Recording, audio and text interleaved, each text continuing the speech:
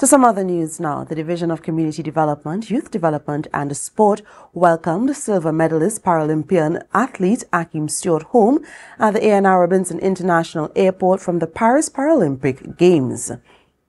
Akeem Stewart won the silver medal in the men's discus throw with a 56.66 meter throw Welcome, welcoming him home was Secretary and Assistant Secretary for the Division of Community Development, Joel Sampson and Wane Clarke, and Assistant Secretary for the Division of Tourism, Niall George. Stewart was also presented with a one $100,000 check from the Division of Community Development. Accompanying him was his coach Wade Franklyn, Technical Sport Director Sean Aberdeen, Planning and Development Officer Administrator's Office Ricia Ali Lindow, his family and others. An ensemble of community-based cultural practitioners from the Division of Tourism did Tobagonian, Afro-Caribbean and Calypso and folk performances to welcome him back home.